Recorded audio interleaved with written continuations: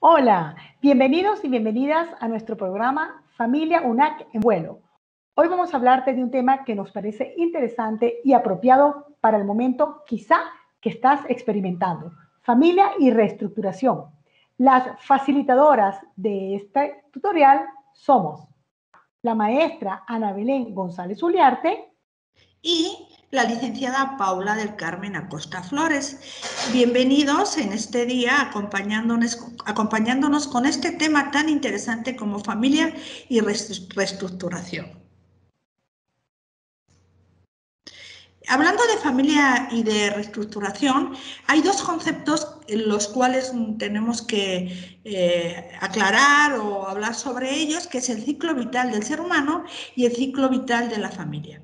El ciclo vital del ser humano comienza con el nacimiento y termina con la muerte.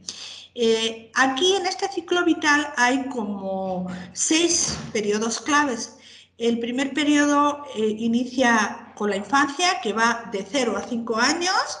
El segundo periodo es la infancia, que va de 6 a 11 años. El tercer periodo eh, está, en, en él está la adolescencia, de 12 a 18 años. Seguidamente está el periodo de la juventud, de 18 a 26 años el periodo de la adultez, que va de los 27 a los 59, y por último, el periodo de la vejez o del adulto mayor a partir de los 60 años. Eh, el ser humano eh, en estos diferentes periodos eh, va teniendo una serie de cambios de metamorfosis físicamente, emocionalmente, socialmente, en los cuales tiene que desapegarse de ciertas situaciones y de ciertas eh, condiciones para pasar a la siguiente etapa. aquí nos centraríamos bastante en la tercera etapa, adolescencia y la juventud, que es donde nuestros estudiantes eh, pues mayormente eh, se ubican. El ciclo vital de la familia eh, igualmente tiene una serie de, pues, de etapas. Estamos hablando de la familia parental, donde está hombre y mujer, padre y madre. Sabemos que hay otros tipos de familias diferentes, pero vamos a partir de la familia parental. Iniciamos con el periodo de noviazgo, donde pues la pareja se va conociendo para llegar a un cierto compromiso donde está el matrimonio. Seguidamente va a seguir la tercera etapa donde es el nacimiento de los hijos. Eh, los hijos están en etapas escolares y preescolares, luego está la etapa de la adolescencia de los hijos. Y a partir de ahí eh, es el desprendimiento de los hijos, donde los hijos por una situación u otra, bien se van a la universidad, se casan, se independizan y van reafirmando el yo individual como personas, mm, como personas individuales, eh, pues dan lugar a, la fase del nido vacío, donde se vuelve a quedar la pareja otra vez sola, ¿no? Eh, y de alguna manera ahí eh, la pareja como tal tiene que volver a reencontrarse. En este momento a veces las parejas tienen crisis, eh, las crisis en sí no son malas, si se superan se reafirma la relación y sigue eh, de otra manera la familia hasta que, bueno, pues cualquiera de los dos fallece. También en este ciclo vital vemos que hay una serie de cambios en cada etapa que la familia va, va teniendo y tienen que adaptarse en cada momento de, la familia. Entonces, como desprenderse de ciertas cosas, desapegarse de ciertas cosas que tenemos propias y adaptarse a otras, a otros cambios. Muy bien, gracias Belén. Qué interesante esta parte del ciclo de vida y ciclo de la familia. Con respecto a esto último que dijiste, Belén, para que todos nos escuchen, empiezan cambios interesantes en esta etapa en que sus hijos, papá y mamá UNAC, están en la universidad. Entonces comienza como que este adiós eh, con el emprendimiento del niño, perdón, del joven, no el niño, del joven o la joven que se va de la casa. Muchos de nuestros estudiantes en la UNAC salen de sus núcleos familiares porque necesitan migrar hacia donde está la universidad. Y esto trae, por supuesto, una consecuencia que tiene que ver con el apego y el desapego. ¿Y qué es el apego? Muy bien, el apego, si leen la pantalla, es el lazo afectivo que se establece entre el niño y una figura específica que une a ambos en el espacio, perdura en el tiempo, se expresa en la tendencia estable a mantener la proximidad y cuya vertiente subjetiva es la sensación de seguridad. Esto, por supuesto, según Barón y ya ven, en, el, en 1993. Existen muchos conceptos que podemos conseguir. Sin embargo, la idea es que ustedes se den cuenta que cuando los niños, cuando los hijos nacen, los hijos y las hijas nacen, pues los padres o los cuidadores son los responsables de crear esta protección y esta seguridad a los hijos, ¿ok? Asimismo, también les queremos dejar como información extra que Jeremy Holmes em, habla de la teoría de John Bowlby de 1993 sobre el apego. Si quieren alguna información extra eh, para buscar, ¿no? Si quieren saber del tema.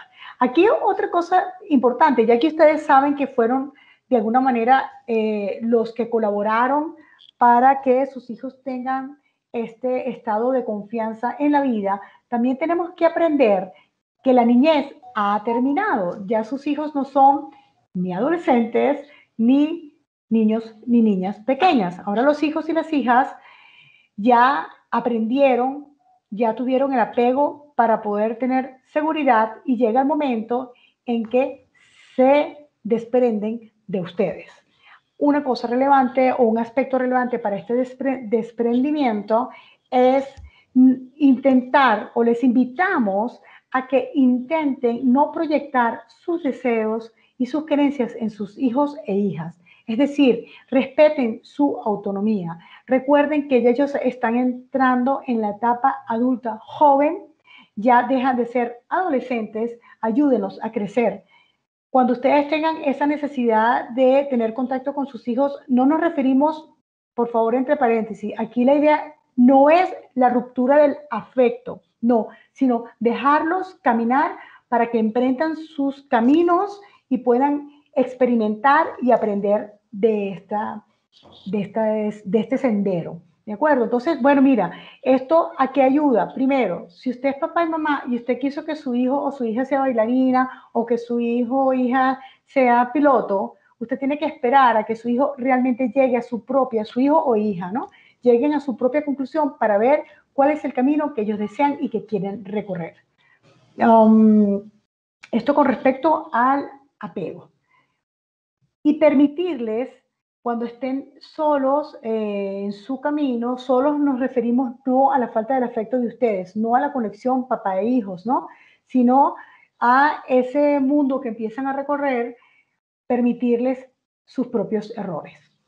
Para este desapego sano, porque la idea es que haya ese, ese distanciamiento, pero no, repito, no de afectividad, no afectivo, sino de forma eh, personal para crecer, les invitamos a tomar en cuenta la aceptación de que ya sus vidas como papá y mamá van a ser distintas porque ese hijo ya no está ahí, ya está creciendo para ser adulto joven. Flexibilizar, es decir, reconocer que no existe y ahora ver qué otras situaciones se les pueden presentar a ustedes, papá y mamá, como adultos contemporáneos para hacer de sus vidas algo diferente. ¿Ok?